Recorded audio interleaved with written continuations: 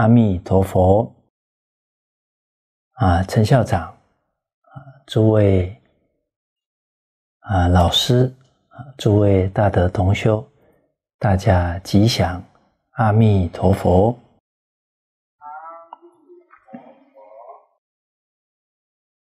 啊，我们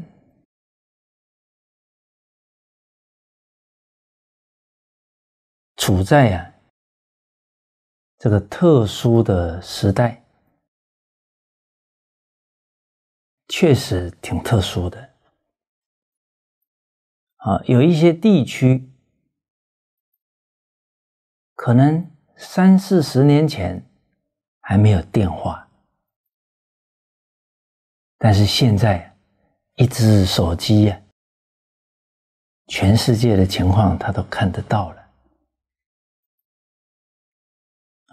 整个生活方式变化巨大好像还有一句笑话讲啊，以前呢永不分离的是夫妻啊，现在呢不分离的是手机呀。一机在手，天长地久啊！啊，老法师说那是魔王啊！啊，应该是说手机假如不会用，就跟魔王接上了啊！手机假如会用，那他就是个小秘书了。哦，不用花钱请了，他是个小秘书了。哦，所以佛门常常说啊，你会吗？啊会不会重要了？啊，我们会啊，手机啊，帮我们一起积功累德啊。我们不会。那手机变成我们堕落的因缘了啊！我们会我们在教学的因缘当中积累无量无边的功德啊！啊，尤其老法师说五千年来第一等好事啊！这是从因缘呢。去谈的了啊！我们学一部经呢，都有教起因缘呢啊！我们跟大家交流啊，一条龙的培训，这也是个缘起呀啊！所以，我们一开始先一起研讨老人家。这一段开始，就是明白老人家为什么竭尽全力要办一条龙的教学，我们要体会到啊。同样的，比方说我们今天学《无量寿经》，我们能体会到释迦牟尼佛为什么要讲这部经。因为释迦牟尼佛，我爱汝等胜于父母念子啊！五烧五痛，酒后转句啊！汝等转相教戒，如佛经法不得犯也佛的同体大悲啊，要度我们出轮回啊！阿难一起问佛高兴啊！你问的太好了，当来一切寒灵皆因汝问而得度脱。这是释迦牟尼佛的大慈大悲，而这一部经又点出了阿弥陀佛的大慈大悲！为了广度变法界、虚空界的众生。他发了四十八愿呢，啊，成就了十方世界最殊胜的佛土啊，啊，他也被尊为光中极尊、佛中之王。我们对这一部经的因缘体会到了，我们真学呀，我们真去推广啊，为什么？太稀有了，无量劫来稀有难逢之因缘，我遇到了，我得尽力去告诉别人了。所以李炳南老师说：“你认识这个法门，你不尽力去介绍给别人，不慈悲了因为没有这个法门呢，众生靠吃自力啊。”出不了轮回了，真看清楚这一点了，真知道轮回可怕了，对阿弥陀佛、对释迦牟尼佛感恩的心，自己就起来了，因为体会的深了，就像我们能体会到父母的不容易那感恩不用人家提醒。自己就涌上来了。哦，俗话常说：“养子方知父母恩呐。”啊，一般我们没有经历过啊，有时候感受没有那么强所以人的一生呢，福在受见。我还没有感受到那么强，可是我觉得佛讲的是对的，佛不会骗我的，我爸爸妈妈不会骗我的，老和尚不会骗我的，圣贤不会骗我的，我就听他的，那就站在巨人的肩膀上了，看得远了。少走弯路了，哦，福在受见呢。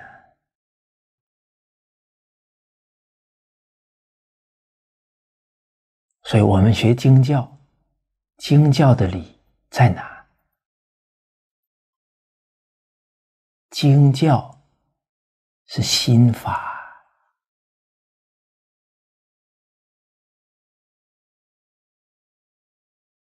是内学呀，啊，我们学一部经的领悟，领悟到了，用在哪里呀？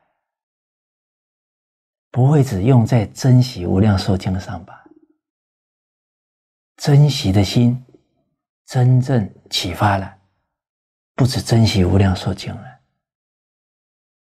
一真一切就真了，一即一切了。别人对他的好，他会珍惜的；对缘分会珍惜的。所以，为什么说读书贵在变化气质？因为它真的触动心灵深处了，一触动，相又有心生，那气质铁定变了。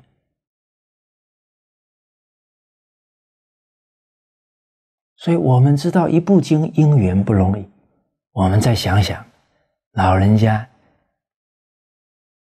尽全力在推展一条龙的理念，何尝不是非常难得的缘分呢？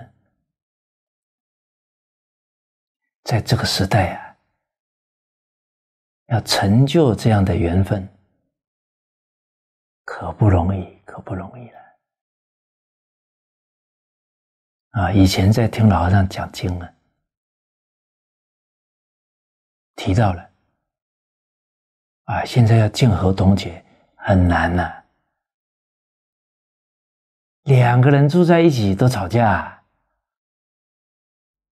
自己一个人独处还跟自己生气，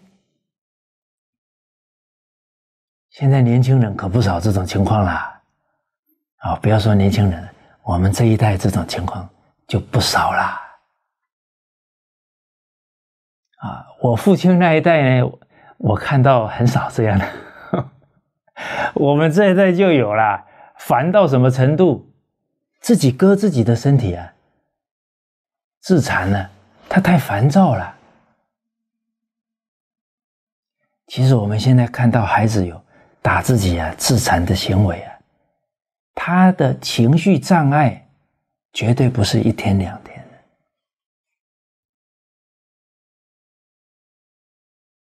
可是问题是我们现在看事看的不透啊，都是症状解啊，头痛医头，脚痛医脚，啊，眼睛痛不知道是因为肝脏受损了。肝开窍于目啊，肾开窍于耳啊，它是一体的，它不是被切成好多块啊，它会互相影响的，五行相生相克啊，你怎么全把它切开来呢？那明明是一体，我的真相。牵一发动全身，我们现在全把它切开了。你就是你，我就是我，人类就是人类，动物就是动物。我们说实实在在话，那个教科书里面教的对不对啊？我们能够分辨得了吗？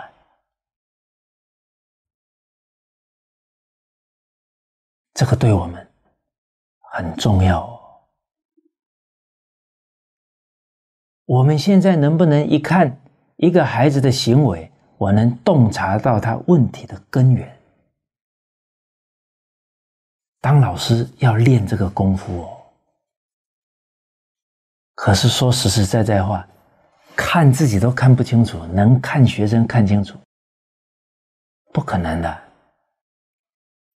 很简单，跟自己二十四小时相处在一起都看不清楚自己。跟学生相处这一两个小时就看清楚了啊！欲知人者，先自知；欲爱人者，先自爱；欲助人者，先自助。所以《大学》就给我们点出来了：自爱一定在爱人前面呐，内圣是自爱。外望才是爱人格致成正，内圣的功夫啊，修齐治平，才是外望，才是利他。这个次序不能颠倒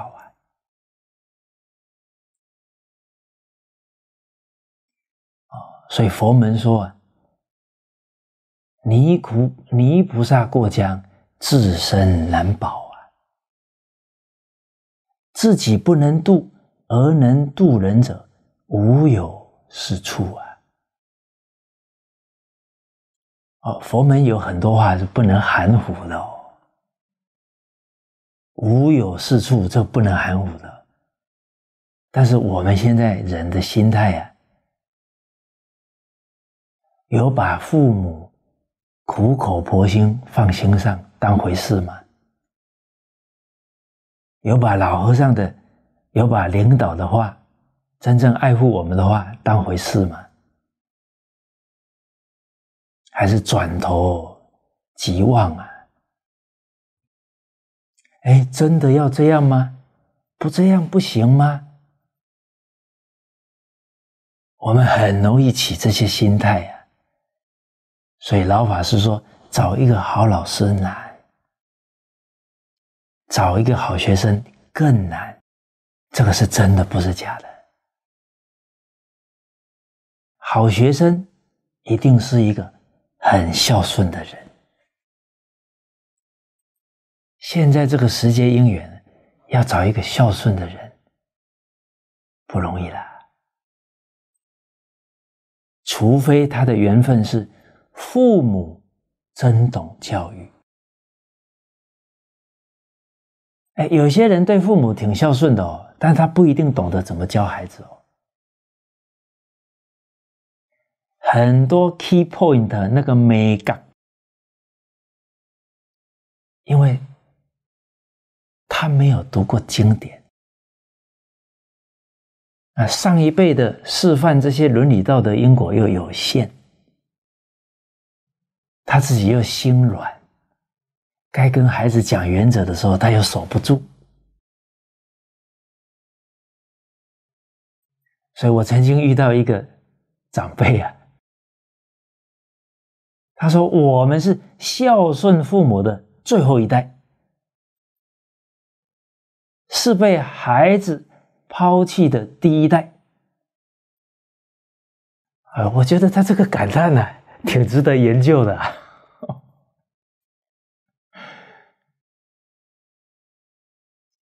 我们要认真的看看我们走过来的路啊，这两三代人呢，承得自己的感受啊。我念初中的时候啊，我念初三的时候啊，我都感觉我们初三的时候还讲道义，啊。当时候也是热血的，这个血气方刚啊！哎呀，这个同学太过分了，打人都要有正义之师才能打，是这个人太太违背良心了啊！得教训教训他。可是看看初二、初一的同学，不高兴就打人了，不讲道义了。哎，不是一代人哦，一年而已啊！这个时代呀，堕落的速度啊，太快了。这是我念初三的时候啊，结果经过十年之后，啊啊，十多年了。我自己去教书了，我自己教孩子感受到了，不是一代不如一代啊，一年不如一年就摆在我们面前了，怎么办？扛不扛？扛起来不轻松嘞。那诸位同道，不扛要干嘛？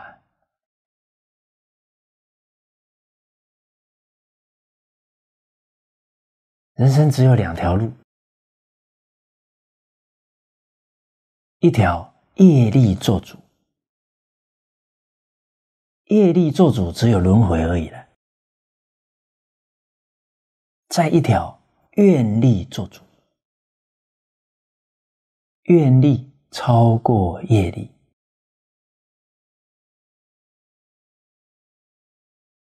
人生其实啊，一点都不复杂。这个归纳，这是佛陀专门的，儒释道圣人专门的，他一句话就把所有的事情都讲完了。哎，这个我们当老师的也要学。佛说：“一切法从心想生。”讲完了，你哪个法 离开这一句话了？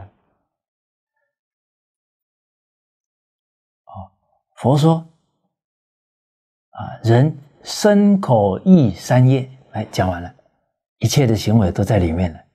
归纳。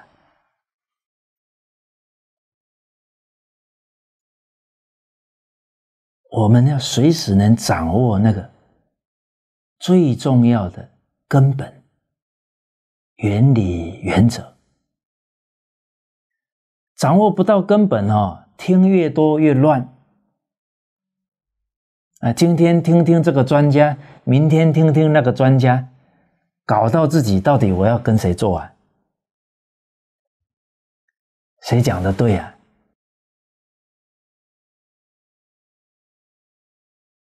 所以我们要求智慧啊，不是去听很多能够求智慧啊，求智慧一定啊是要跟着过来人才能求得到智慧啊。你去看这个畅销书，这个畅销书没有开悟，他带你去哪？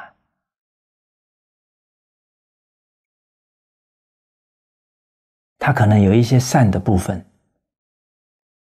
但是他不见得能够带你真正求到智慧啊！哦，而且世间畅销书，有一些你会很感动，但有一些他个人看法不对的地方，有时候我们分辨不出来。啊，陈德都经历过了。那真正厉害的邪师啊，他可以讲《金刚经》给你听，讲的你佩服他不得了。他可以讲真灿大师讲的话，禅宗祖师他可以给你开解。我们一看都觉得云里雾里，他能给你开解。可是他一句话就把你入邪道了。高手是九十九句是对的，一句是错的。所以，一个人一生能遇到过来人，大福报。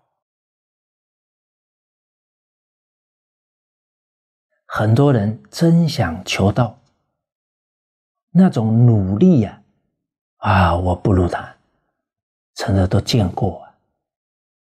可是他们遇到邪师了，越学越执着。那我们是因为。遇到老和尚了，啊，那邪师说他是比佛法更高的法，那还借佛教的名，他这一句话他就不懂佛法了。佛法是平等法，他还在那里强调我比释迦牟尼佛高，铁定是邪的。可是，一般的人没有这样的判断力，所以老法师的认识佛教啊，要介绍给。亲戚朋友，不然怕他会陷下去啊。第一个，佛不以神通度众生。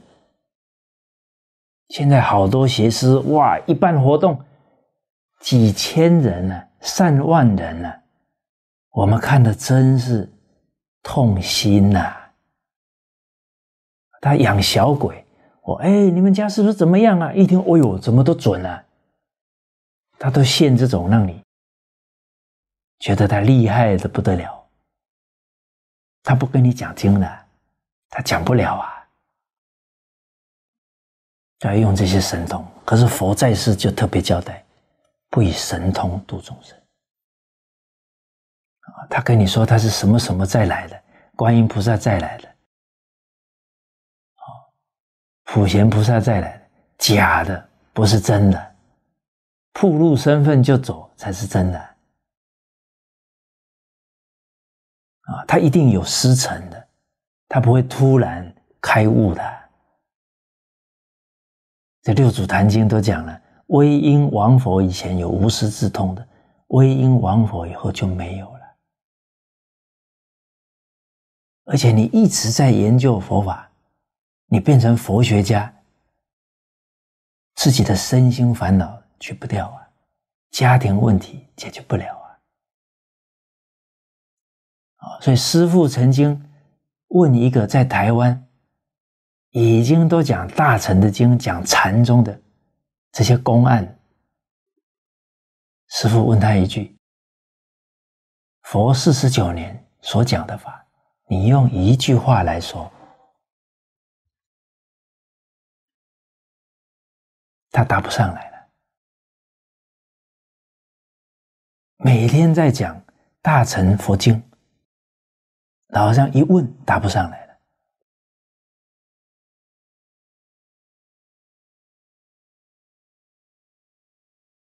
所以人要入道啊，不是你自己去研究能够入道的。佛经告诉我们，从名师受戒。你遇到过来人，你要持他的教诲，不是戒律而已哦，他的教戒。我们一看到受戒哦，五戒，我们很容易望闻就生意。哦，这一点呢，那不能随便相信自己的意识哦。啊，比方说。我们一听，啊，师言而后道尊，哎，我们可能就想了，对呀，要尊重老师啊，道才能够尊呢。那可能这句话对我们的心态变成什么？要人家尊重我，呀，执着点产生了。所以这个要学法，哪个人自己学学进去了？得过来人给我们讲，不然我们会一文解义呀，听什么着什么。啊，刚刚跟他昨天跟大家举的例子啊，这个丙吉，他出去巡视，他是宰相。结果他问牛，不问人，他旁边的人憋不住了。宰相啊，人家孔子是问人不问马，你为什么问牛不问人呢？哎，他这个随从也是有读书的呢，不然他怎么知道孔子问马啊？问人不问马？接着丙吉呀，告诉他了，刚刚那个斗殴，我观察到当地政府已经出面处理了。我这个宰相一过去呢，那不是给人家乱了阵脚，还得招呼我种种吗？让他专心办事就好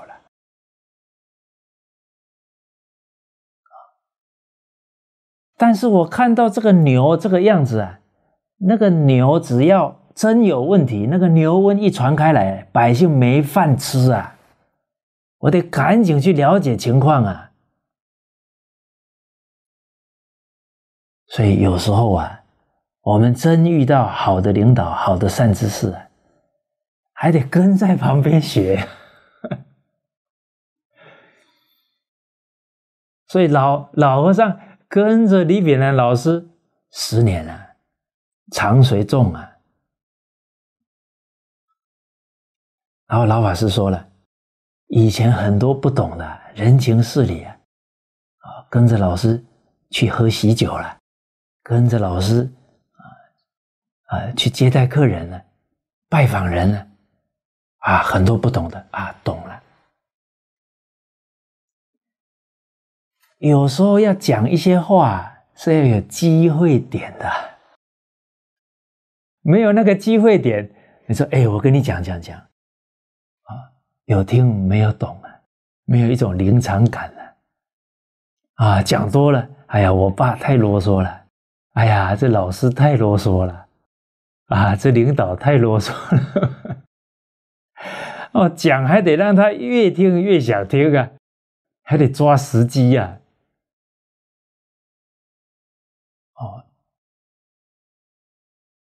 所以能跟着过来人十年呢，福报啊！所以我们想想啊，我们的福报啊，从这一点上啊，不如老和尚啊。啊，但是老法师说，我们现在有一个好处啊，古人没有的。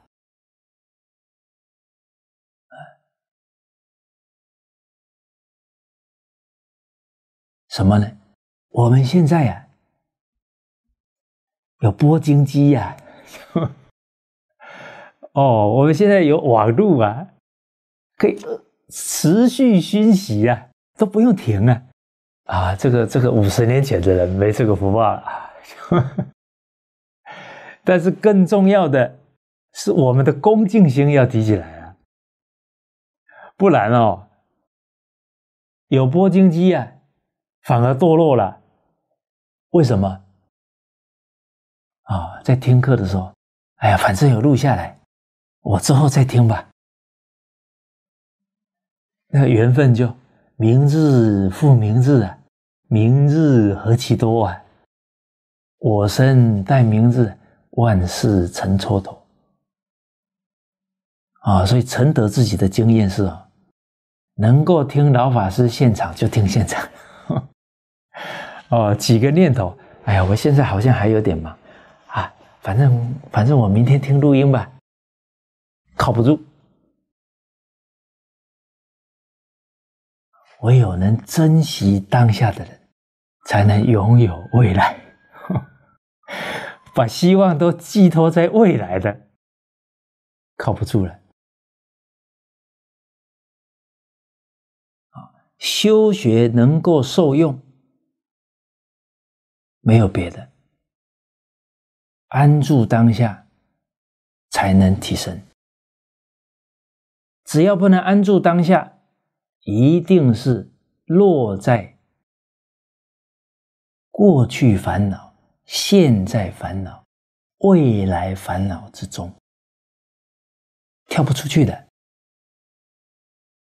只要在这三种烦恼，就不是正念做主，不是正念做主。不进则退，哪可能提升呢？所以经典一句话就能让我们脱胎换骨了，是我们用不用它？《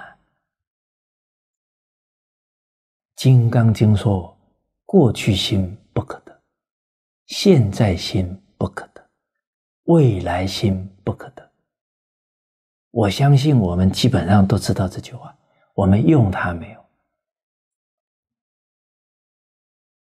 用了，得大利益了。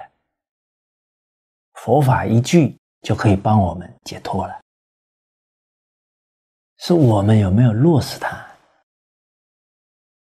过去心不可得，过去烦恼放下；现在心不可得，现在烦恼也放下。别在那里犹豫不决、举棋不定，随顺经典思维，赶快去做。不会犹豫不决，思维清楚了，心不被得失、不被情感所牵绊，啊，该下决断要决断了。领导人很重要的抉择，很重要的本分，就是抓对方向，用对人。下对决策，方向不对了，在那里拖半天，当断不断，反受其乱呢。事是如此，人亦是如此啊。该断不断，我们要背因果，对方也要背因果啊。不以人情做佛事啊。慈悲多祸害，方便出下流啊！现在全世界弘法的团体不少啊，都有挑战。其中啊，人事的挑战是最大的，内耗厉害呀。所以老法师一提出来就说了：一条龙的学校搞团结。团结不是谁说了算，要团结在佛菩萨的教诲，团结在老法师的教导。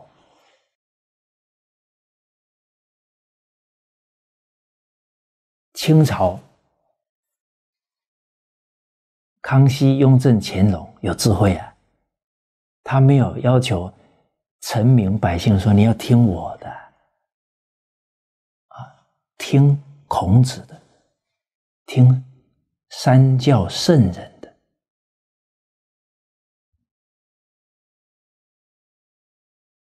大家没话说了，这才能见和同解。老法师都教我们了，我不知道大家现在遇到事有没有觉得，哎呀，我该怎么处理呀？其实老人家都教了。假如我们遇到境界提不起老人家相应的教诲，那我们熏习的力道还不够。但是那个力道不是时间哦，是入我们的心。其实要入心呢，是我们的心境要提升了，懂得珍惜了。可是人心境要提升。一定是他有放下才能提升。我们放不下急躁、浮躁的心啊，老和尚的法要入进来不容易。所以老法师为什么要跟我们讲？他见张家大师见面半个小时没有一句话。什么意思啊？张家大师好老师啊，他很清楚啊。学生的心没有定下来，你给他讲白讲了。我们现在当父母、当老师的人都没有看到孩子的眼神，叽里呱啦，我们一直讲一直讲，他到底有没有听懂？我们从他的眼睛有没有观察到啊？啊！一发生事的，我都跟他讲啊。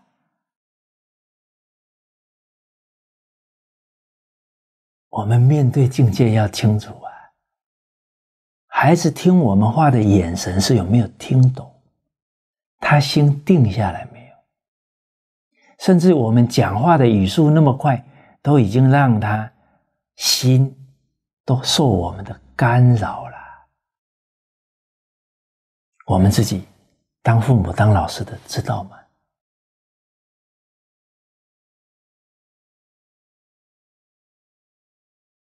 所以，我们静下心啊，重要啊！啊，刚刚一开始跟大家说，我们这三四十年是有人类以来变化最快的时代。在这么快速的变化，我们的心定得下来吗？我们明天每一天五六点就起来了，忙到几点了？有没有静下来深呼吸的时间呢？有没有每天要睡觉以前？哎，曾子曰：“吾日三省吾身。”我静下来看看，我今天哪句话有没有讲错啊？哪个动作、哪件事有没有做的不妥？哪个念头有没有动错了？不然，每天没有这样沉淀下来，都不知道错在哪。明天会不会有同样的错呢？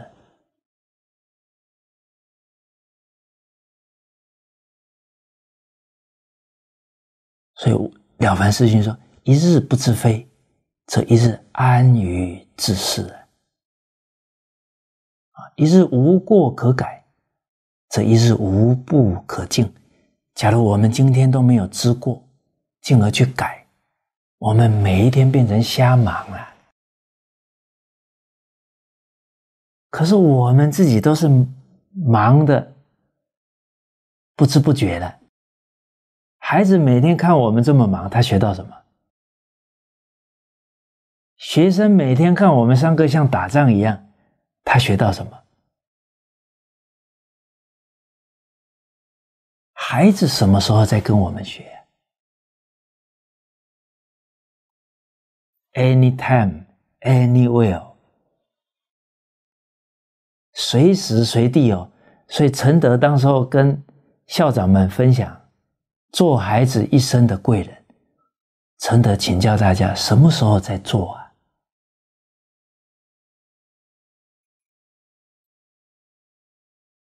我记得我第一年带班呢，带六年级的，很多都比我高啦。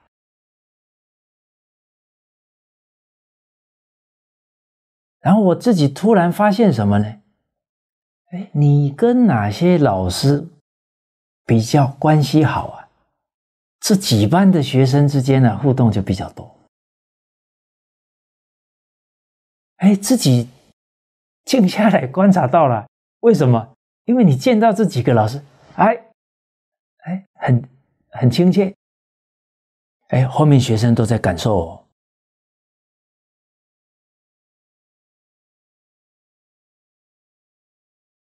所以我们有没有表演给学生看呢？表演哪一句呢？小俄语第一句啊，我们其他的先不要求啊。第一句，一切言动都要安详，十差九错，只为慌张。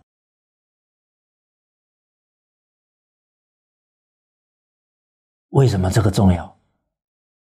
我们想想，老和尚说，以前的教育啊，十二三岁就像个小大人。哎，当我看到第一句的时候，我说：对对对，可以教出小大人。他一举一动，哎，他都在学规范呢，他不会慌慌张张的。当然哦，我们在指导孩子也是很有耐性哦。哎，慢一点，慢一点，你不要一下子哇，就像个老虎一样骂人，对不对？你就把脾气传给他了。所以古人留了一句话：“为学第一功夫，要降得浮躁之气定。”这是为学的第一个功夫，哎，现在想想有道理啊。因为浮躁降不了，我们就装不了老和尚的法。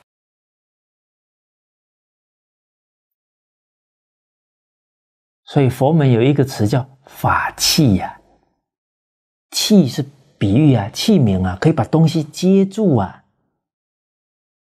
那我们现在的心态。是不是法器呢？法器呀，真诚心呢，恭敬心，自己还要清净心呢。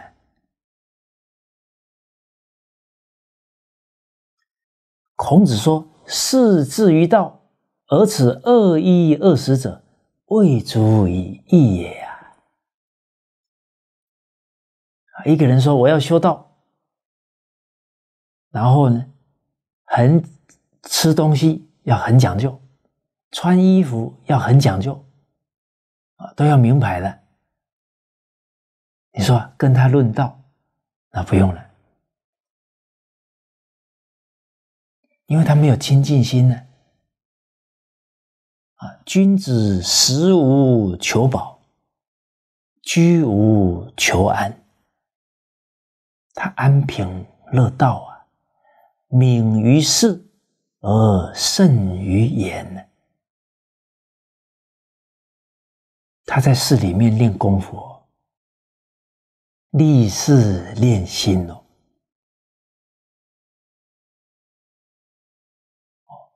所以诸位同道很重要哦。我们遇到这么难得的一条龙姻缘。那是帮助我们往生极乐世界积累资粮啊，积累功德的真上缘哦。可是我们可不能把这个缘变成造作罪业哦，那我们就变冤大头了啊，承德。刚好啊，啊，当了一年的班主任，四个学生毕业了，硕士生了，啊，一个回国内服务了，三个留在汉学院工作。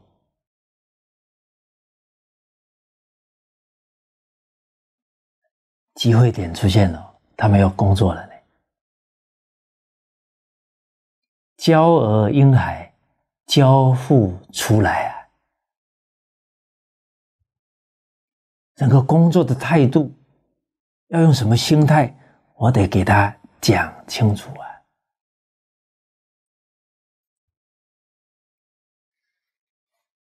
剩于死啊，这个时候不给他建立起来，到时候这个十领着十方供养，随顺习气造业。那我有因果责任了，我没有做到我的本分呐。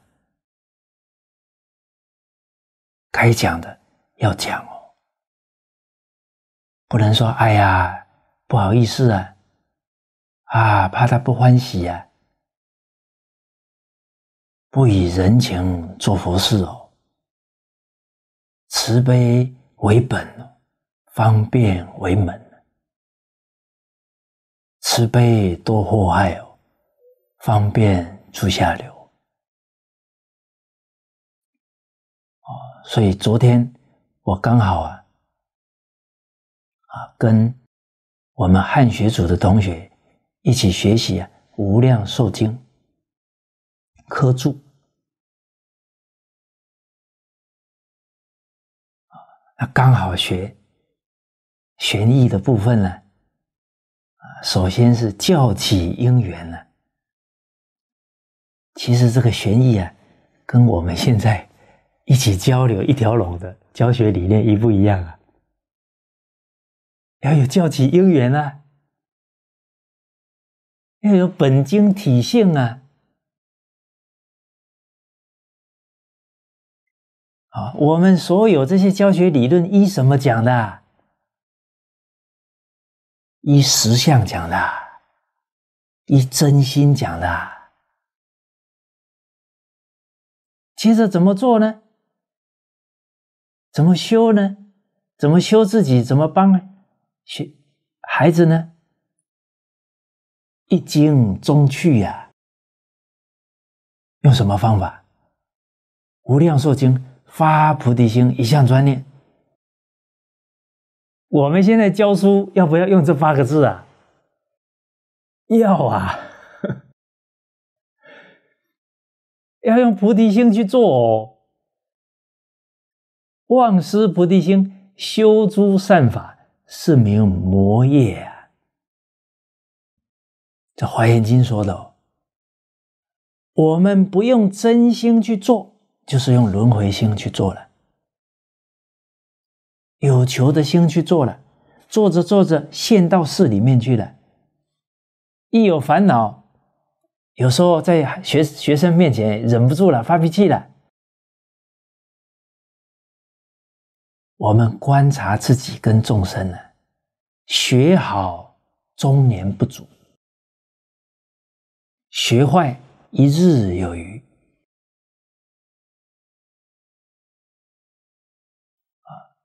因为我们的善心所只有十一呀，恶心所有二十六。我们去观察一个孩子，去了一个电动玩具店，一去一天，你拉他拉不回来了。你看他一吸毒，你拉他拉不回来了。学坏啊，一天哇！不知道怎么拉回来了，所以为什么古古代他要去请一个私塾老师？哇，千里寻师啊，啊，找来了，他护好孩子的清净心呢，他家族才出得了人才啊！护持一个学生呢，功臣啊，护持一个孩子就是一个功臣。很大的工程呢，不是一件小事啊。十年树木，百年树人呢。我们给孩子教个孝道，他真正发出来啊，有时候你还拿不准呢，要讲半年还是一年还是三年呢？孩子比较好出来哦。我们现在成年才学佛啊，有时候我们学了五年、十年了，这个孝心还没完全发出来啊，不容易哦。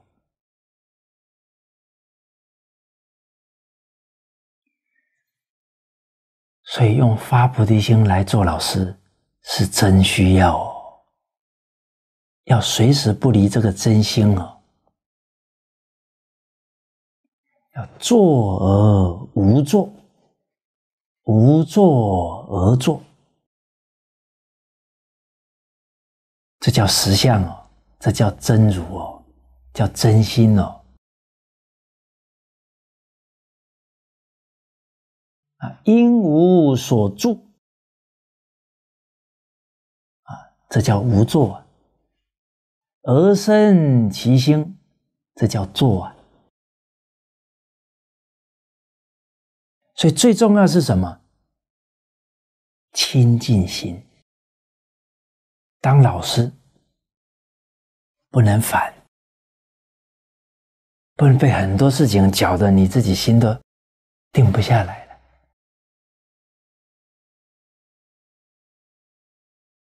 我们要有信心呢，有佛法就有办法。《金刚经》给我们。打了个强心针，信心清净，提升实相，实相，你的真心就现前了，你没有丝毫怀疑。我们往往遇到事啊，哎呀，怎么办呢？怎么会这样？开始慌了。你信心一定有办法的，佛菩萨会加持我的。你心一定下来。佛菩萨一家子，灵感来了。啊，承德自己觉得啊，早上起来特别容易有灵感。哎，起来哦，还没有什么念头，哎，昨天的事想通了，刚好有个灵感，佛菩萨加持。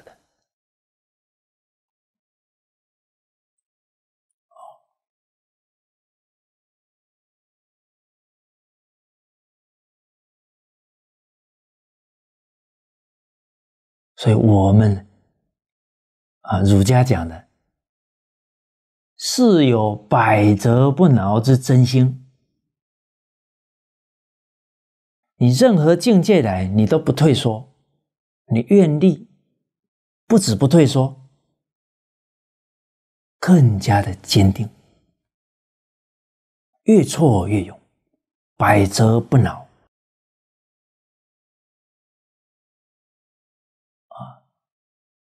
借笔磨脑，兼我愿力，不磨不成佛啊！只要将猛，不怕贼强啊！百折不挠之真心啊，方有万变不穷之妙用。因为我们的心没有变呢，我们不夹杂这些担忧啊、害怕、恐惧啊。没其他念头了，哎，怎么样？一向专念，哎，平常念佛，不打其他妄想，啊，妄想进不来，啊，教书，认认真真教，真诚的教，尽力的教，教书就是念佛，这个不是陈德说的哦。哎，我说的你们不相信了啊。老法师说的，老法师有一篇教诲非常精辟啊，推荐大家，好像推荐过了啊，不好意思啊，我 Top Sales 的习气又来了啊，啊，推荐大家老和尚一一次专题啊，菩提心。灌注在整个生命中啊！当初老人家在新加坡啊，哎，来了很多大陆同学啊，有百国兴隆寺啊，有北京来的同学，哎，老法师给我们表演了，表演什么？哎，平常都有平常的规矩哎每天讲什么经？哎，讲《太上感应篇》半小时，啊，讲《华严经》两个小时。可是，一有因缘出现了，不会死板。我们今天《华严经》感应篇暂停一次，啊，为北京的同修，为吉林的同修谈谈念佛法门。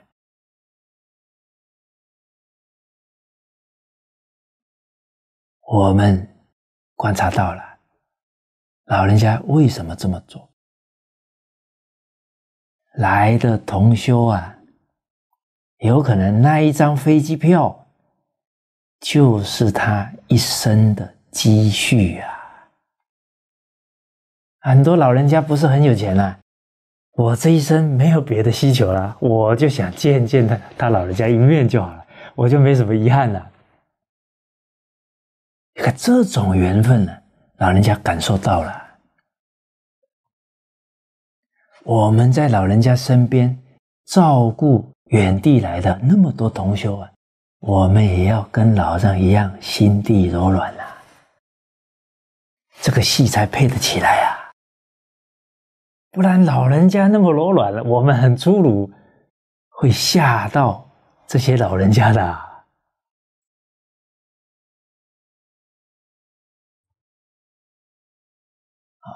这些同修们，啊，不管来到哪一个老人家的道场啊，他的心里觉得像朝圣一样啊。我们要理解他们的心情啊。假如我们不能像老人家这样的心境，又配合不起来，给他们吓到信心都障碍住了，我们就造业了。跟着师傅是积功累德的，我们把它搞成造业。那就太冤枉了，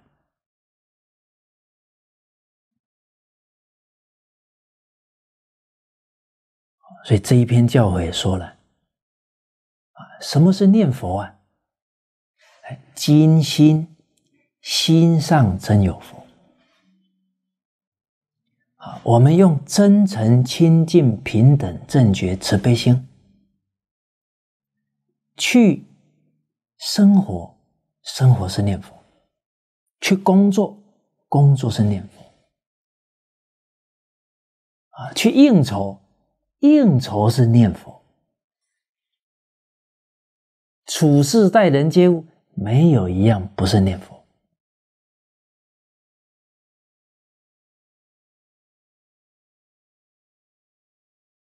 老和尚下一句讲什么？大家记不记得？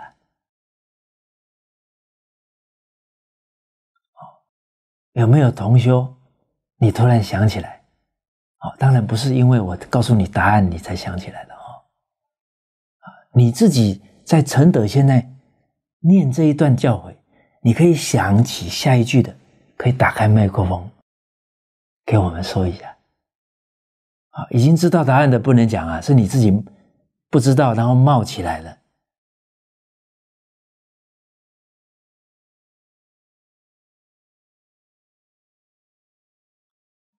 好，我给大家讲这句话。老人家讲完这句话，下一句几个人懂啊？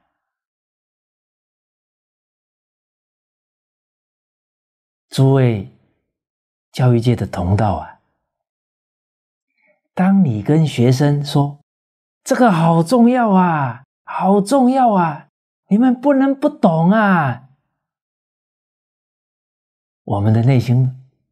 多希望学生记住啊，记住啊，提高八度强调了。可是我们想想啊，老和尚讲这段话的时候，几个人懂啊？假如我们是真理解师父的心啊，你听一次你就不会忘了，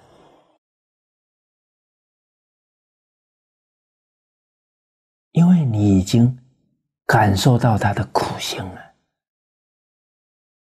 而且要开出这样的道理，不容易，不容易啊！老人家没有入那个境界，不可能开出这么圆融的教法。所以承德初学佛，听《太上感应篇》，自己的感觉根本就是《华严经》嘛，怎么是《太上感应篇》呢？圆人说法，无法不圆。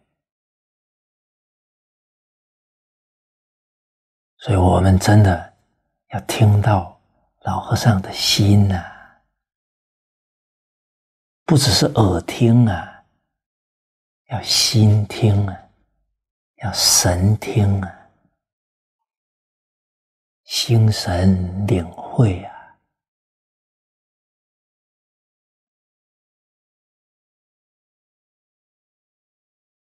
听到老和尚说，找一个好学生。更难，感受到了一个和盘托出、掏心掏肺的善知识的心了。下一个念头是什么？别人不干，我一定要干，我一定做老和尚的真学生。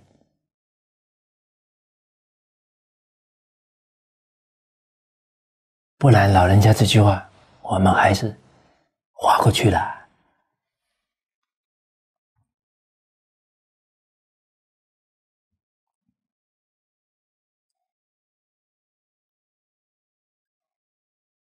所以老人家这一段开示不到两个小时，啊，陈德听了不少遍，感觉。一两个月听下来，哦，这一段很重要啊。再听个半年呢，哦，这一句很重要啊。继续听下去，这一个词啊，这一个字好重要啊。所以自己的根性啊。落裂呀！真的根性好，应该听一遍就记住了。自己听了那么久啊，才知道，才尝到一点味道啊。六祖慧能大师啊，半部《金刚经》就见性了。啊，博士论文二十个字啊。交出来了啊！何其自净，本自清净啊！何其自性，本不生灭，本不动摇，哎，本自具足，本不动摇，能生万法。我们很羡慕啊，要内行人看门道啊，是因为他的万分恭敬。假如我们听到这里，我们有几个念头了：六祖大能可以，六祖慧能大师可以，我不行的。哇，障碍在哪？念头。有时候老和尚在和盘托出啊，教诲我们，我们边听边想，哎，老和尚不是普通人，那个那他行，我们不行了。障碍不在外，我们每个人的缘都具足，不只可以往生，还可以在今生真正把传统文化念佛法门。弘扬开来，每一个人都做得到。只要不被我们的妄想、分别、执着的念头障住，所以障碍不在外面哦。冉求帮助我们了。他跟孔子配合啊来提醒了两千五百多年的我们了。冉求跟老和尚哎冉求跟孔子很近啊。哎冉求跟孔子说了非不悦子之道啊力不足也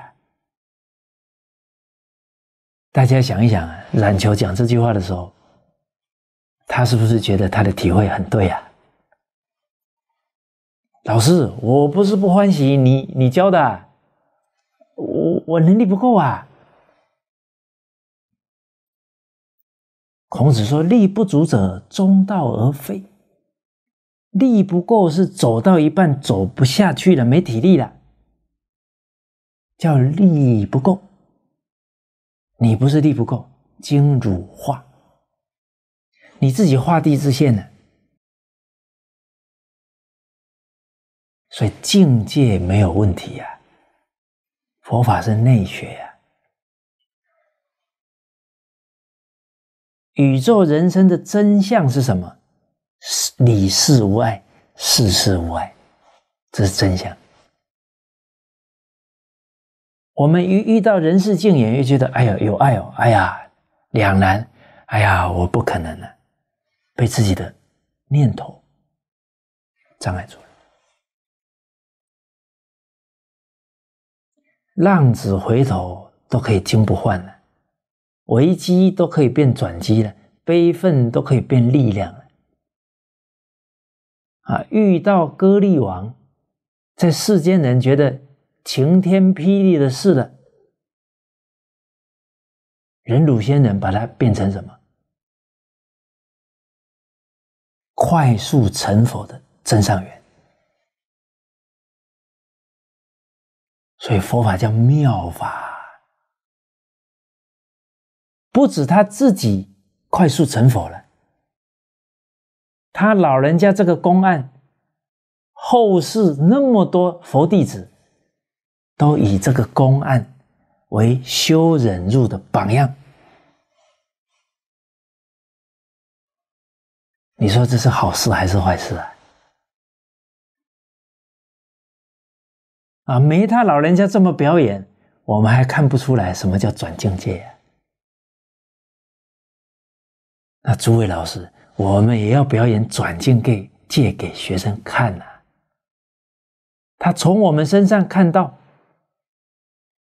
临危不乱，遇到事先不要慌，静下来，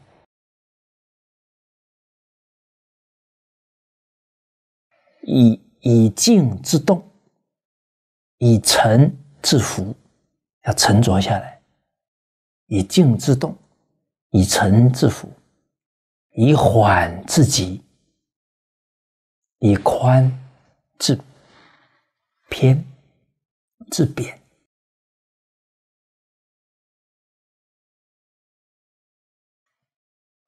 老祖宗留这些话都是什么？都是调心的。心守好了，一切法都会好，因为一切法从心想生。解决问题不能着在境界上去，要从根本。我们小时候啊，陈德小时候是到高雄中山堂去看电影的。当时候你往后面一看啊，都有一束光射出来啊，那个胶片呢，哒哒哒哒哒哒哒在那放啊。今天我们希望这一出戏转变，不希望哎呀这样演下去太惨了太惨了，我要转我要转，怎么转啊？你跑到那荧光幕上在那里，哎呀转了转了，他咋转了？啊，要要到那个放映室里面去换胶片才能转了。所以我们人有时候遇到逆境了。考验了？哎呀，苍天啊，谁来帮我啊？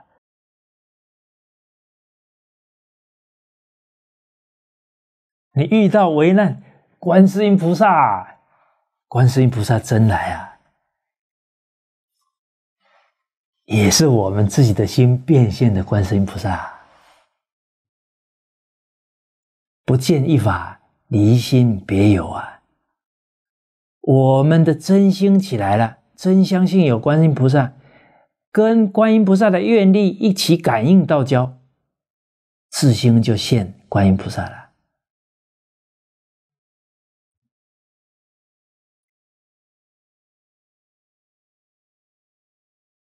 所以护好自己的念头啊，比什么都重要了。下莲居老居士说：“自助者天助啊，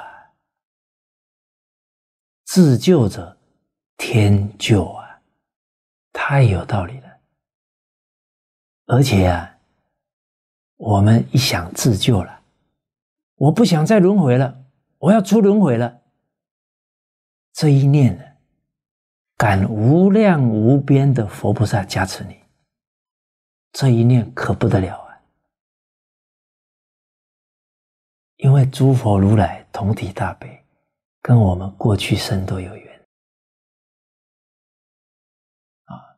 无量寿经也把这个真相告诉我们了：若于来世乃至正法灭时。我们现在已经正法灭了，在末法了。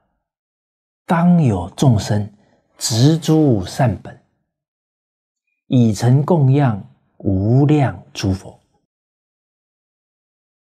有比如来加为力故啊，能得如是广大法门。所以，我们不能觉得很多事情好像是偶然呐，天底下没有偶然的事哦。一切不离因果两个字，没有一件事是偶然的，没有前因，不可能有现在这个果。我们会遇到念佛法门，是有无量诸佛在加持我们哦。但是我们得了如是广大微妙法门，接着呢，要摄取、受持。要好好念佛，一念阿弥陀佛。为什么叫摄取？啊，就把阿弥陀佛果地上的功德变成自己的功德，叫老实念佛，全摄佛德。这个法门呢，等觉菩萨都讲不明白。唯佛与佛乃能知啊！如来功德佛自知，唯有世尊能开示啊！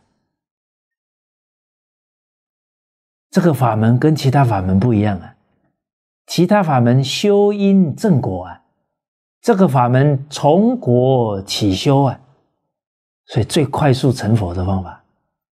为什么十方诸佛都劝他的学生去极乐世界？因为每一个老师都希望他的学生赶快成就啊，那那个那个地方是最快成就的学校，那哪有佛不推荐去的道理呢？哦，而且推荐去是光中极尊佛中之王推荐的啊，教的啊，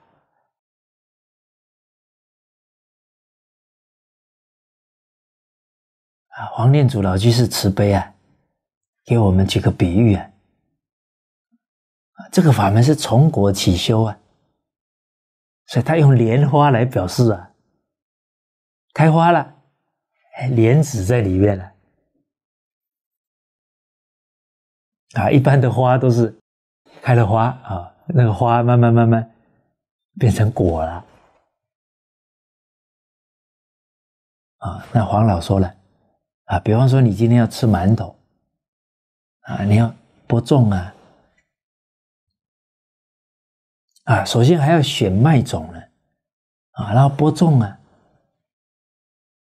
要浇水，要施肥啊，啊，几个月之后割麦子啊，磨麦、揉馒头，哇，这个工序不少啊，时间不短啊，啊，终于蒸出馒头来了。啊，大家闻到香味没有？啊，好，吃馒头。这是一般的法门是这样，但念佛法门直接吃馒头。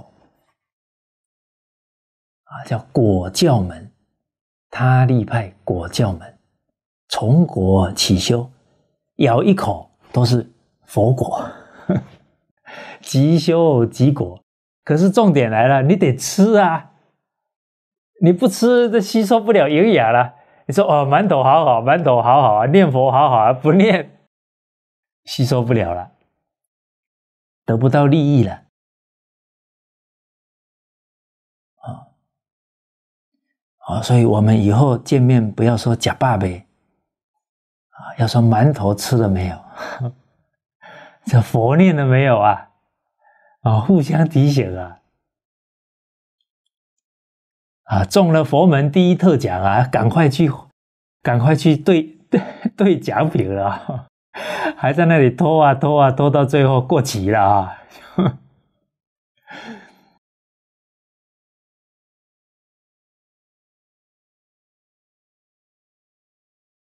啊，又可以念佛，啊，又遇到五千年来第一等好事。啊，因为这五千年还没有出现文化危急存亡之秋，现在出现了，有这种缘，才有这种福可以修啊。那我们得用真心啊，然后不能陷在事情里面了。不能烦，不能躁，不能动气呀！要静下心来，好好念佛啊，其他杂念都没有了，灵感就出来了啊！每天做完，也不去担忧学生听不听啊，哎呀，讲不讲得动啊？不要动这些念头！真心教完了啊，一下课，佛号提起来了。啊尤其哦，不能把学校的情绪啊，又带回去骂家里的小孩哦。啊，所以情绪不要传染哦，不止新冠肺炎不能传染啊，情绪也不能乱传染哦。那刚刚啊，跟大家有提到啊，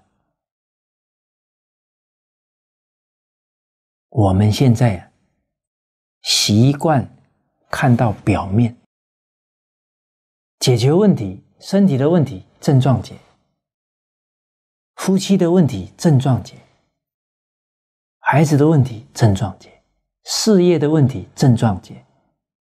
我们要了解，只要是症状解，第一个过不了多久又会有问题出来。第二个，那个症状解的手段又会延伸出副作用。我们有没有发现，现在治病吃这个药，哇，并发糖尿病，并发肾衰竭，这就是症状解。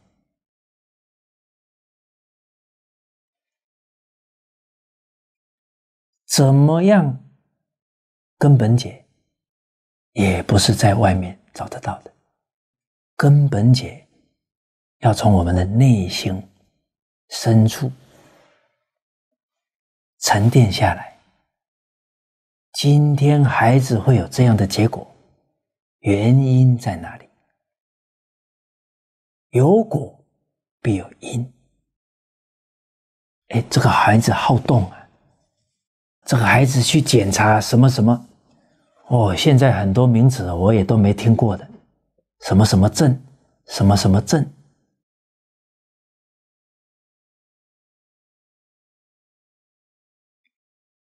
只要是心理的问题，甚至于说啊，生理的问题，为什么？身体是念头相续产生的相，哪有一个孩子的念头都是好的，他的身体会越来越差？不可能。所有身心的问题啊，大部分。就是缺爱。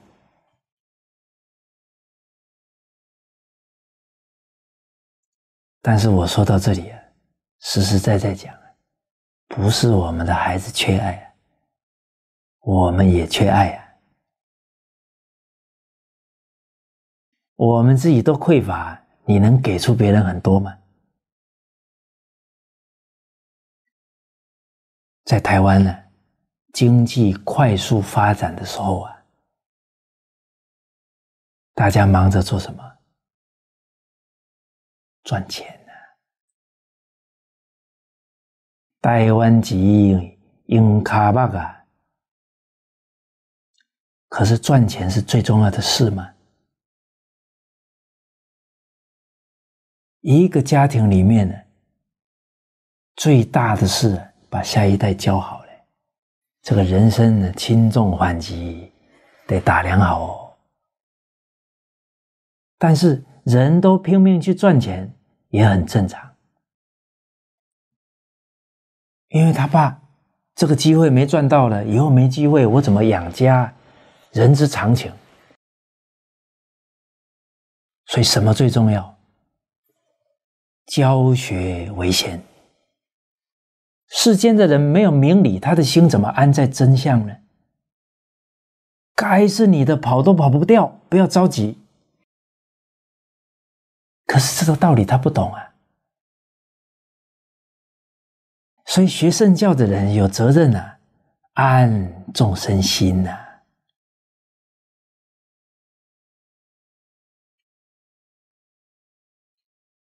很多人夫妻忙着赚钱，忙啊忙啊，孩子的教育又忽略掉，最后孩子变坏，这种例子不在少数啊！啊，大陆有一对夫妻，本来是教书的哦，后来看到哇，经济快速发展，通通去从商，开了工厂。那孩子送了，哎，哪里学费最贵？送哪一间？有钱呢？一送去了，这种学校，假如不是真正明白人在办，会变成什么？你在校门口看，每个人开来都是名牌车子啊，学生开始干什么了？比呀，攀比呀。接下来，他爸爸假如是开计程车的，爸，你你你你不，你送我来，你不要到校门口来了，我自己走。连父亲都不认了。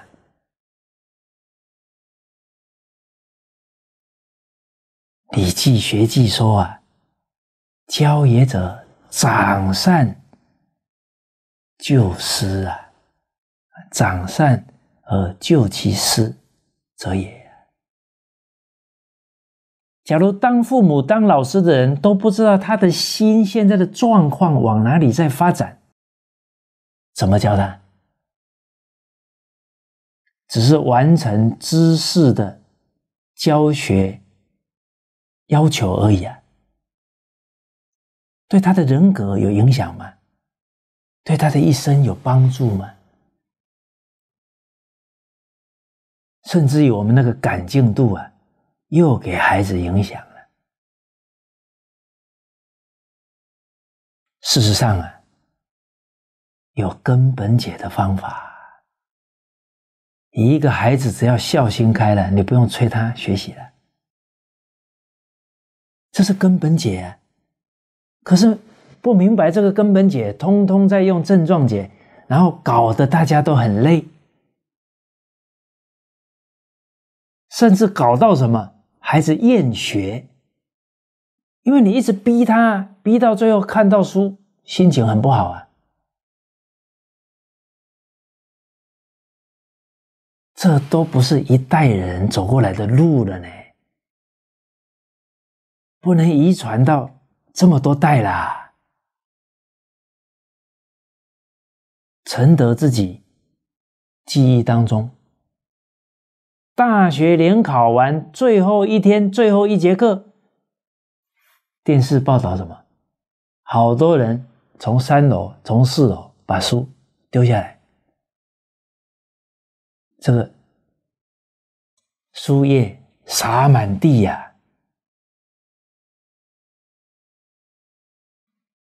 这一个人，纵使考上名牌大学，他会不会喜欢读书啊？他只是要一个学历而已啊。可是，一个学历，他就成功啦。他好学的心不见了，他能成功啊？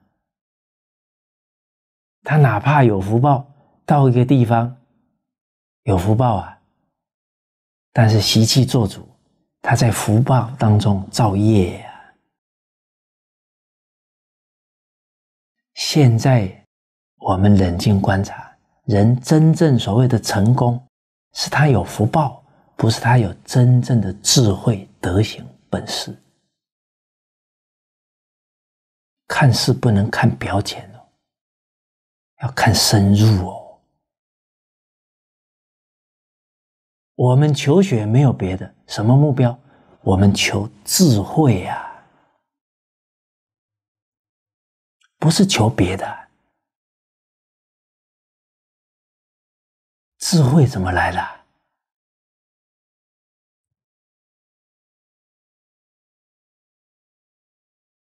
子孙虽愚，经书不可不读。啊，为什么我这个长辈说他是孝顺父母最后一代，啊，是被孩子抛弃的第一代？因为没有人在读经书了。子孙虽与，呃，祖宗虽，呃，子孙虽与，经书不可不读啊。法者，万事生灵之眼目啊，人要开。判断力，开慧眼，他不深入经藏不行那经藏教我们什么？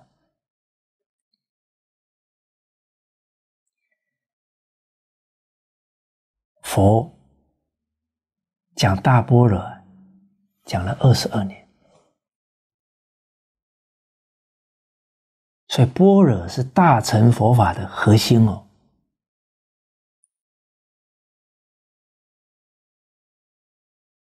那大般若里面告诉我们，般若无知啊，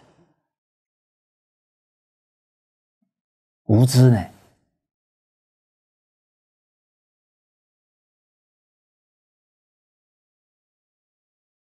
其实啊，无知啊。也就是无相啊，无念啊，这个只是名词术语不一样而已。无知，也就是应无所住啊，就是清净心呐。清净心一起作用，无所不知啊。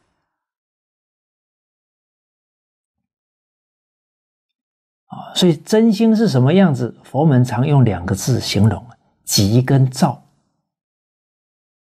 极而常照，哎，极就是清净嘛，般若无知啊。但它会起作用啊，它不是，它不是龟毛兔脚啊，不是没有这个东西啊。真空不空哦，你不要以为它没有。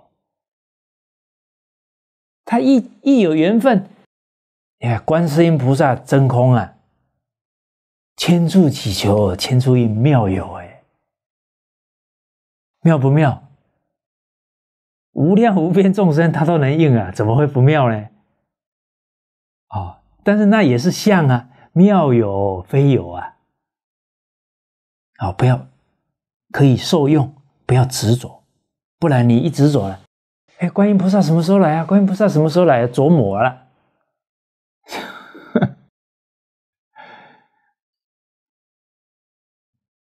所以这个佛法没有离开心呐。但是重点来了哦，我们这东方人呢，好有汉文化的地方，丧失信心了。外国的月亮比较圆啊，外国是工业革命啊，你看他们的思维是什么？人受教育干什么？出来在生产线当中啊，摆一摆，我就有产品出来啦。哇，那教育变成什么？每个人都变产品了。语文、数学考试考得不好，不适合念书哦，或者学生厌学了，中辍啊，没得发展，搞得行行出状元，变成本来很有天分的，只是不会考试而已，通通被被老师觉得是差生。然后遇到一些不好的缘，堕落，可惜呀，我们都遇过啊，哎，在监狱里做坏事，关进去了，遇到一个去监狱讲经的老师，把他的良知唤醒，哎，以后读到博士。然后还常常回去监狱讲给那些服刑人员听啊！你说多少人被误啦？所以每个孩子来了，都是父母的心上肉啊，都是他祖先的血脉呀，我们也得认真对待呀。人同此心，心同此理啊！我们也希望我们自己的孩子遇到好老师啊，修因得果。我们尽心尽力照顾、教好别人的孩子，我们的孩子一定会遇到好老师。要信佛啊，我们的心就不会担忧了。好，那刚刚跟大家提到，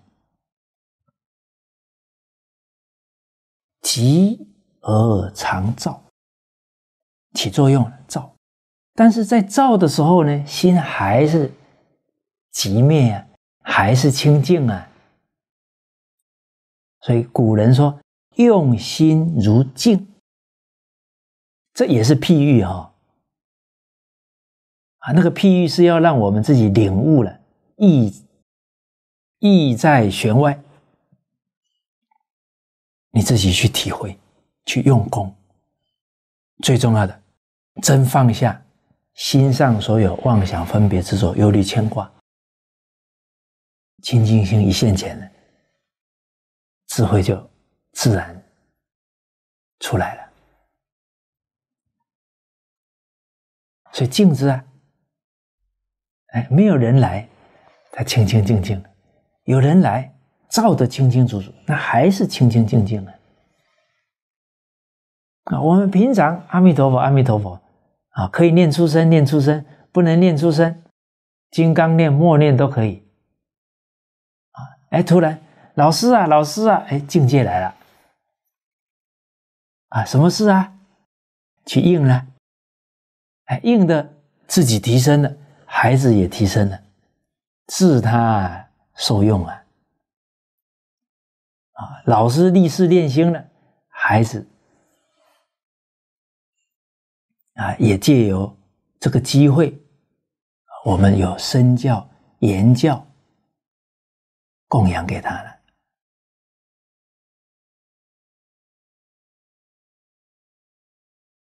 所以，这是我们这一代人要很严肃啊思考的问题了。怎样的方法才能培养出有智慧的人？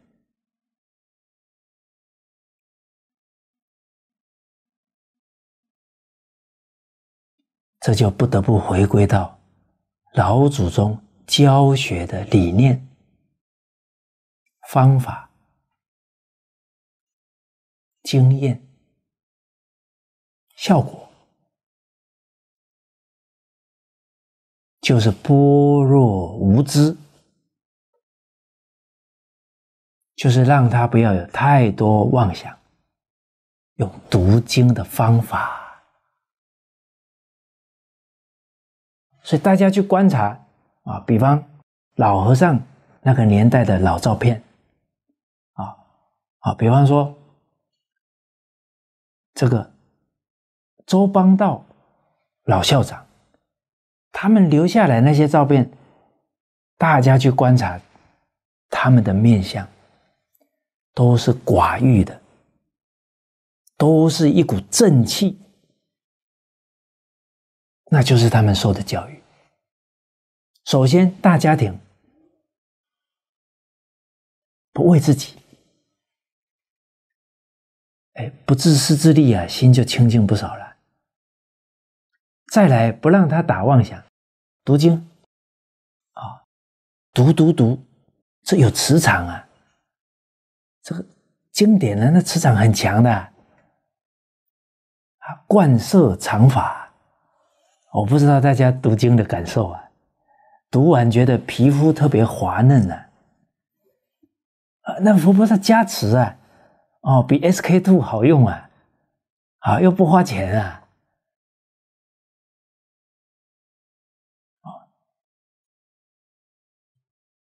哎，念念念，没其他妄念了。那个天真，那个气质啊，就没有染污，天真，憨憨的。我看老和尚那照片，很老实啊，哇，都二二十来岁了。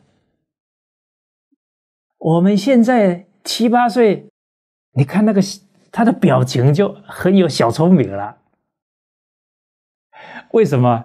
他被电视教的，他被那些综艺节目那个口才的那那损人呢？你看他能不动这些小脑筋吗？但是老人家他们以前这读书人，哎，养浩然正气啊，这全都是性德啊，念着念着那个磁场你就熟悉了，习惯了。念个那么多年，一去遇到染污的东西，哎呀，很不舒服啊！已经在自然之事这么久了，突然到鲍鱼之事，马上就弹回来了。他有判断力了，所以古人是透过读经的方法修他的无知。哎，这个无知是什么？这个无相是什么？无相是离一切虚妄分别，他的念头没了，清净了。因为念头一起，分别执着，离不了了。所以用这个方法手段呢，所以读经啊，多多益善啊。跟大家举的，我们马来西亚同修啊，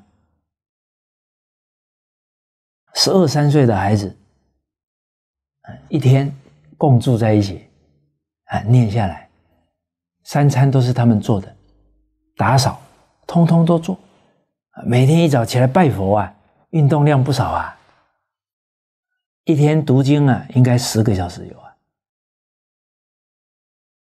好，结果。很欢喜哦，没有不耐烦了，没有厌学了。三天大学背完了，七天中庸背下来了。我前几天听到一个消息，一个小女孩，七八岁，八岁了，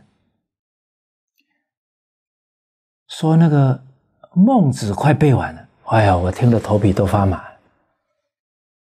啊，甚至根是根读完了。这个孩子就喜欢读书了 啊！当然也有一个环境了，家里的环境，大人呢都有学佛哦。我看他传来的照片呢，他家里大人排在前面，他跟在后面。阿弥陀佛，每天还念佛了。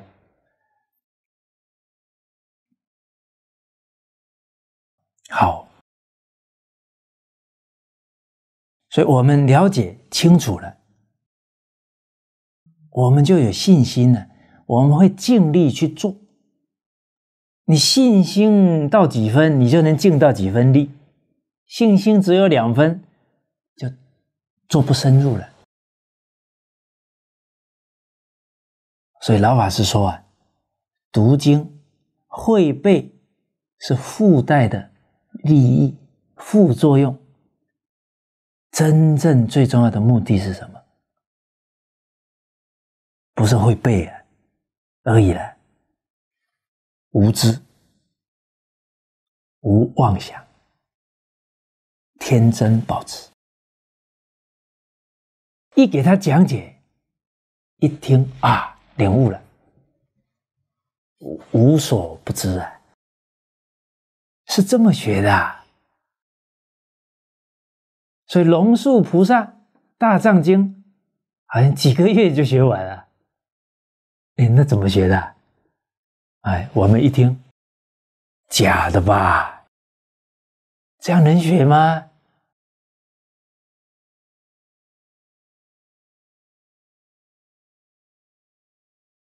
老祖宗的东西没假的啊，都是真的，不会骗我们的。哦，当说老人家在香港的时候，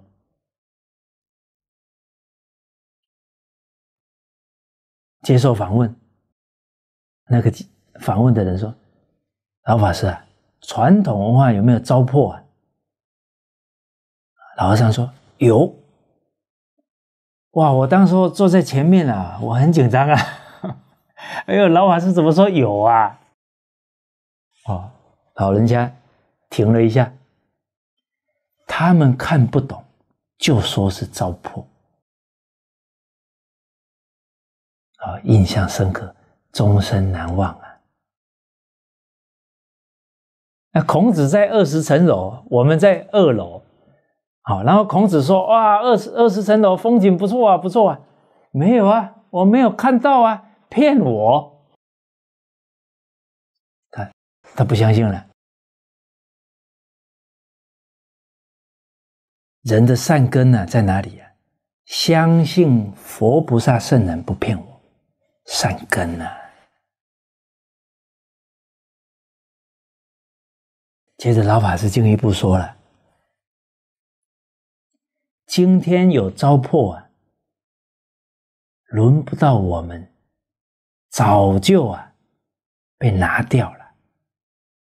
几千年传承下来，老祖宗心比我们清净啊。”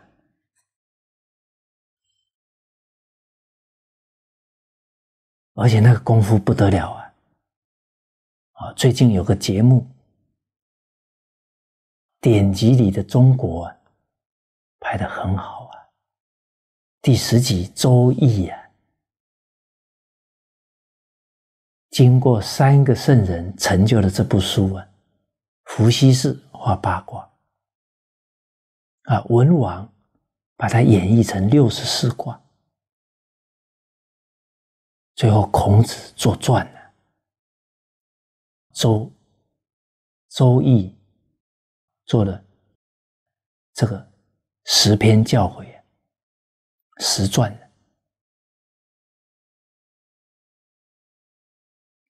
而我们周文王，他是被关在监狱里，文王居而演义呀。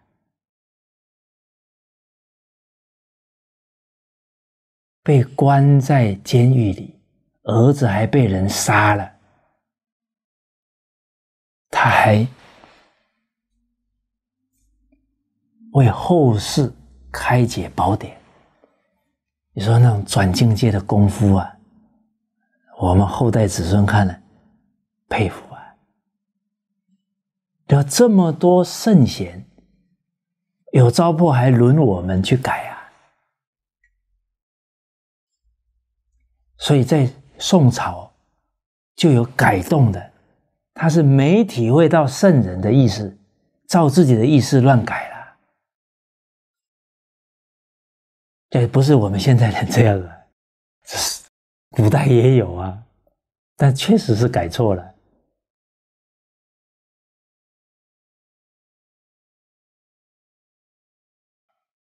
哎，我们不相信哦，大藏经几个月就可以学完了。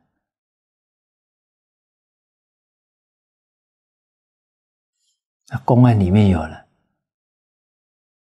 六祖慧能大师，他心地清净了，结果法达禅师来找他，啊，你看那个见性的人。看别人很清楚哦，啊，那个法达禅师进来磕个头，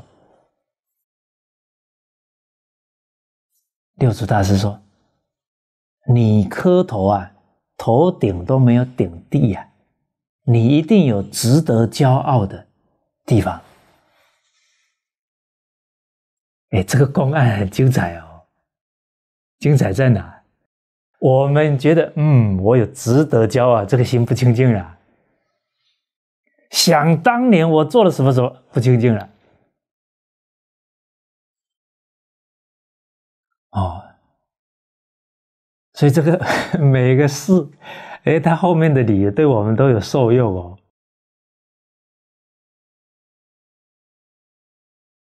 他他就说了，我读《法华经》啊，读了三千遍了，《法华经》这么厚啊。读一遍要好几个小时啊，可能少说也要五六个小时啊。一天念一部啊，念了十年左右了。啊，六祖大师说：“我不识字，你念给我听。”结果他念念念，好像第二品还没念完，好了，不要念了，我讲给你听，这部经讲什么？一讲，法达禅师开悟了。哦，六祖大师说：“你念了十年了，被法华转。你是要转法华，不是被法华转。念经念多了，慢心起来了，被法华转了，被境界转了。两品还没念完，这部书全会了。”哦，所以龙树菩萨怎么学《大藏经》的？好，这部经看起来啊，哎，看一品、看两品会了，好，下一本，哎，几个月学完了，真的不是假的，一精通，一切精通啊。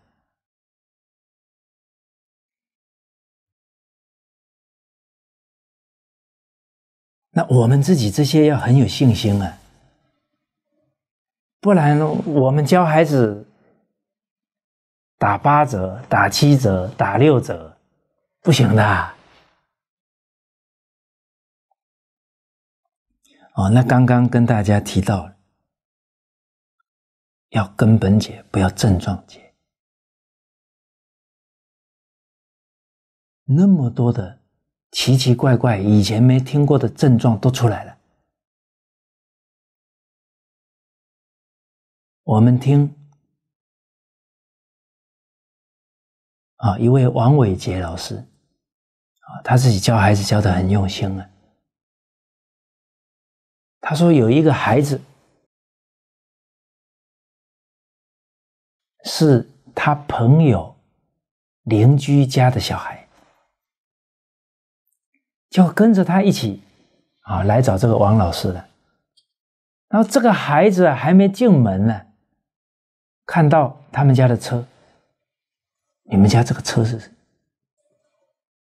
什么牌子的？多少钱呢？啊！一进到屋里，哇！你们家这个沙发多少钱呢？什么牌子的？这个王老师说，这种年龄到人家家里应该是。觉得哎呀玩耍了，怎么问问东问问西的？然后他就跟他那个朋友说：“哎，他的妈妈是不是很讲究，买什么买什么名牌的。哎，你怎么知道啊？啊，因为从复印件呢，就看到原件了。你看这个孩子的心都在搞这些东西呢。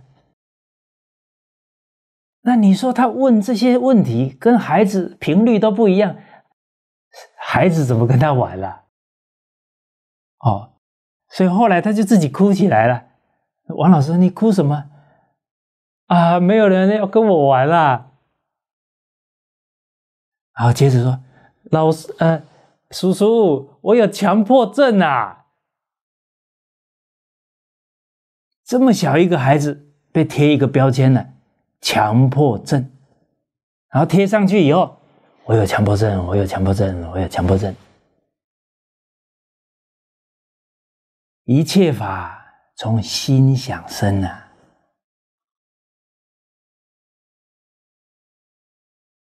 所以不明理啊，被这个世间好多的说法。都搞得我们不知道何去何从啊，怎么解决问题啊？所以今天啊，承德这个 Top Sales 要介绍他大家一帖药，阿且陀药啊，处世间有一帖药叫南无阿弥陀佛，三根普被啊，凡圣其说，万修万人去啊，一定出轮回。啊，夏莲居老居士遇到这个法门，高兴好几天啊！我终于可以出去了，我终于可以出轮回了。哦，后来把书房改成欢喜斋。哎，你们遇到了高不高兴啊？终于可以出去了哈！哎，啊，这个是出世的阿杰陀药。世间也有一帖阿切陀药，叫爱。什么身心的病，遇到真正的爱，它就慢慢改善了。就是缺爱，缺到一定程度了，病现前了，好像缺营养，缺缺缺缺到最后，病出来了。都不是一天两天造成的啊！当时候陈德遇到一位同学，他这个例子啊，让我很震撼啊！他很优秀啊，啊，非常乖巧的一个孩子啊，应该也不能叫孩子了，二十多岁了啊，嗯。结果，他他跟我说啊，他这前一段时间呢，哎，突然起了念头，我妈妈不要我了，他自己莫名其妙啊。后来通电话跟他妈妈说到，哎，我最近怎么这个自己冒出来念头，我妈妈不要我，他妈妈说你这个傻孩子，我怎么会不要你呢？哎，后来通完话，他妈妈想到，当时候怀孕的时候啊，动了念头要把它拿掉，被他的奶奶给阻止了。结果他生出来之后啊，就跟他奶奶的缘特别深呢。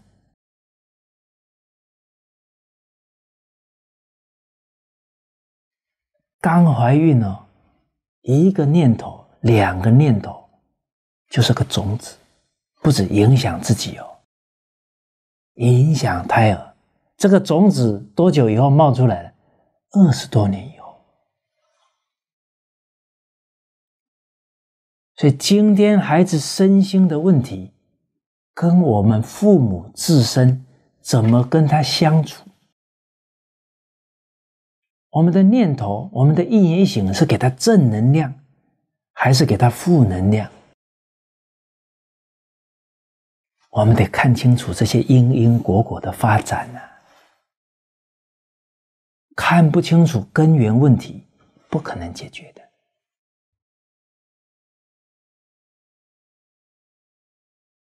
我们也看到很多家庭问题，孩子很叛逆，最后怎么开始改善的？父亲忏悔了，真的看到自己的问题了，跟家里人忏悔了。哎，母亲真正看到问题，忏悔了，至诚感通了，家里人。成一家人就是有缘了，一个人真心一现，马上其他人，谁愿意一家吵吵闹闹的？没人愿意呀。啊，有一个妈妈，她孩子对她特别对立，后来她遇到传统文化了。她认知到自己对公公婆婆不孝啊，他就忏悔，开始对公公婆婆好。结果刚好那一段时间呢，公公生病了，哦，他在医院照顾来照顾去。结果就在那一段时间呢，他的孩子被他感动了，哭着跟他说。我以前为什么顶你？因为你对我爷爷不孝，我很难过。这直属血清啊，是天性啊。他那么爱他的爷爷奶奶，当妈的不孝的时候，他他很难过。一天、两天、三天、四天，一年、两年。你说他内心积累的那些负面的情绪，会没有行为出现吗？会没有病出现吗？所以二十一世纪说最严重的是什么病啊？忧郁症啊！因为我们现在通通太重物欲的追求。大家每天忙啊忙啊，心都没有静下来。最轻的人，内心世界都感受不到。承德都遇过啊，啊，我记得有一次，啊，我就不讲哪个国家了，不然大家要落印象了。啊，那个开车载我的，啊啊，前不久啊，我朋友。孩子成绩挺好的，十七岁啊，自杀死了。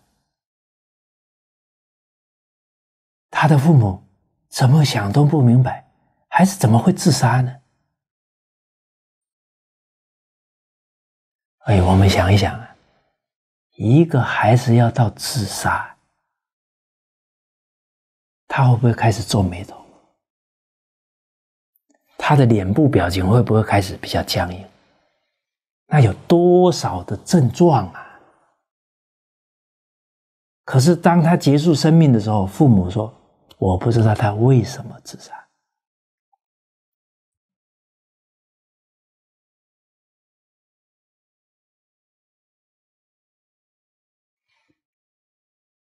所以这种功利的氛围啊，共业很强啊。我们得静下心来，不能卷进去啊！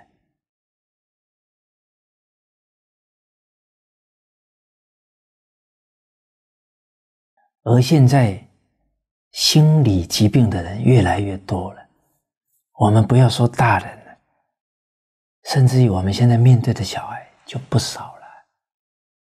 我们当老师的得真正从经典当中有智慧了。深入经藏，智慧如海，都能判断，而且甚至于你真正要去帮一个孩子，你才知道真正的挑战不在小孩，在他的父母。在影响他的大人哦。